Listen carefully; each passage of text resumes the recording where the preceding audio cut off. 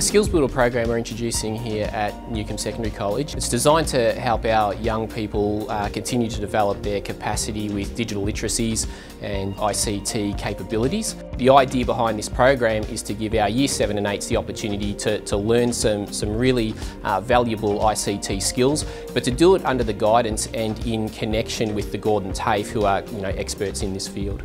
The uh, delivery platform we're using is Gordon Online. The essential elements of the program cover four key areas. Those key areas are web, networking, IoT and robotics, and coding with Python. So we cover the uh, Internet of Things, and which is IoT, and the robotic systems. The concepts that are involved give the students a good understanding of the uh, current industry platforms, plus the virtual and augmented reality systems, which are becoming not just a nice to have, but becoming an industry standard in their own right. I'm working on creating my own web page. Um, at the moment I'm working with HTML and I'm making lists and making my own HTML website. Working with, in partnership with the Gordon, we've identified the four key areas that we've included in this online course.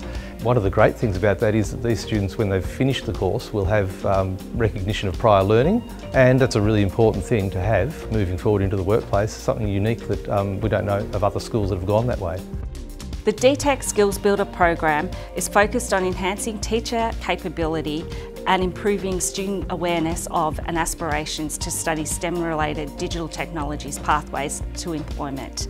It really is quite unique and will give all Newcomb Secondary School students a real edge for the future.